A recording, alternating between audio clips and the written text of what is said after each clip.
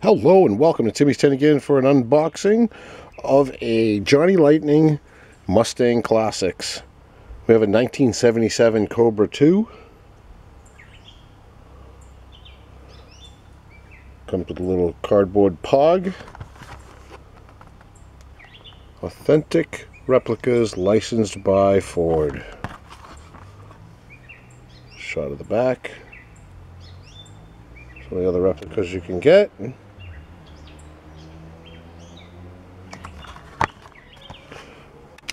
Got this from my buddy Michael on a trade on Facebook. We traded in the Hot Wheels Addiction Center.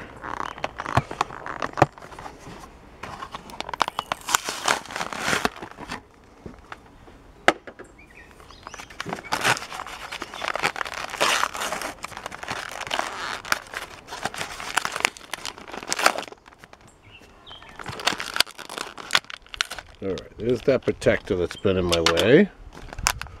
Card and car. This card is like a pog. I don't know if you guys remember pogs.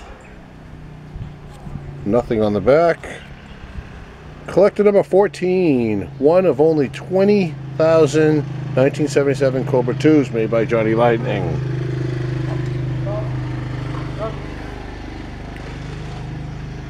Does the hood open? It does.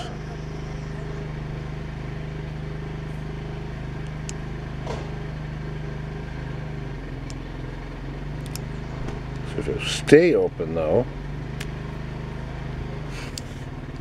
doesn't really stay open on its own. It's all metal though. All this white's metal, the engine's metal.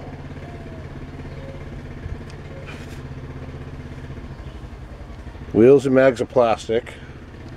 Bottom's metal. So it's metal on metal. Sweet paint job too. I'm really liking the stripes. I usually like solid colored cars, but this one is really nice. Let's see how it rolls. Oh, it rolls so well. It rolls much better than a Hot Wheels or Matchbox. It's just really smooth and heavy. I'm really liking Johnny Lightning's real cars. Not the commemorative ones, but they're real cars. Thanks so much for tuning in to Timmy's 10 again. And please subscribe.